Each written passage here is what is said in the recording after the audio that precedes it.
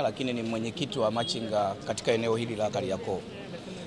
Kwanza kabisa nimshukuru sana mkuu wa mkoa wa Dar es Salaam ndugu Amos Makala kwa sababu tumekuwa tukifanya naye ushirikiano wa karibu kuhakikisha kwamba upangaji wa wamachinga unaenda vizuri katika mkoa wetu wa Dar es Salaam.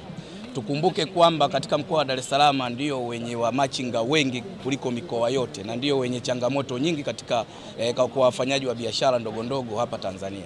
Kwa hiyo ndugu Amos Makalla amekuwa amekuwa na ushirikiano mzuri na sisi, mara kwa mara amekuwa akitushirikisha kuhakikisha kwamba tunatoa elimu. Kazi yetu sisi ilikuwa ni kuwapa elimu eh, jamaa zetu, ndugu zetu, wafanyabiashara wenzetu ndogo ndogo katika mkoa huu wa Dar es Salaam.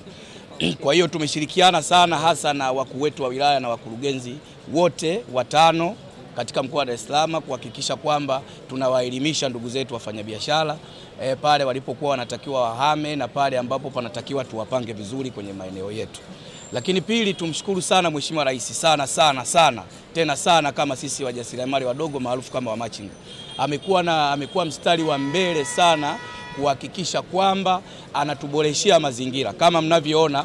E, majuzi kati hapa alitoa bilioni tano na bilioni tano e, tuna mshauri wetu wa wamachinga Tanzania aliwasiliana na dada tukajaribu kumshauri dada Umi kwamba mnaonaje hizi bilioni tano zikakaa kwenye mizunguko badala ya kuanza tena kujenga jenga tu, tuwape wajasiriamali tuwakopeshe ili walau hata e, wakuze mitaji yao. Kwa hiyo tumshukuru sana Daumi ametusikiliza ame na nafikiri tuna, tunaelekea sasa kwenye hizo bilioni tano kuhakikisha wajasiriamali wadogo tuna tunawakopesha na baadaye basi hata wawe wajasiriamali wakubwa, wawe wafanyabiashara wakubwa. Lakini lingine tushukuru hii mipango ambayo inaendelea. E, Mheshimiwa Rais juzi tulikuwa tunawasiliana na Mheshimiwa mkuu wa mkoa kushauriana kwamba hawa watu wa katikati hapa Kariakoo wapi watakwenda. Kwa hiyo tukawa tumekubaliana eneo la Jangwani kwenda Jangwani, lakini tunatamani Jangwani ya kisasa, hatutamani Jangwani ile ambayo sasa tena mafuriko yakija tuanze kumtafuta mkuu wa mkoa aanze kutulipa fidia. Hapana, tunatamani Jangwani ya kisasa. Kama mnavyoona, ndugu waandishi wa habari, mnaweza mkazunguka hapa Kariakoo, hamna stendi za daladala, daladala zinapaki barabarani.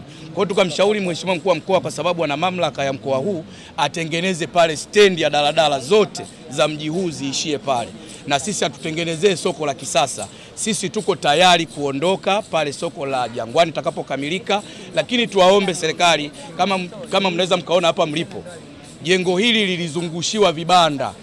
Vibanda hivi vilisemwa kwamba ni vibanda vya wamachinga, lakini matokeo yake wakaja kupata wale wale wenye maduka saba wenye mahela eh, kwenye maeneo haya ya Kariakoo.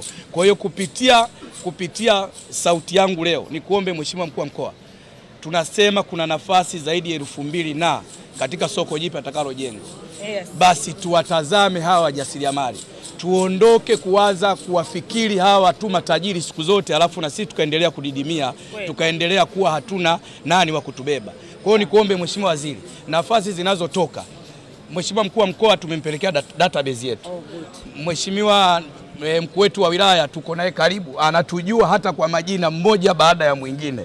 Kwa hiyo tuhakikishe kwamba hizo nafasi zinazopatikana ili tukiweka miji yetu safi, basi na sisi tupate nafasi za kufanyia biashara.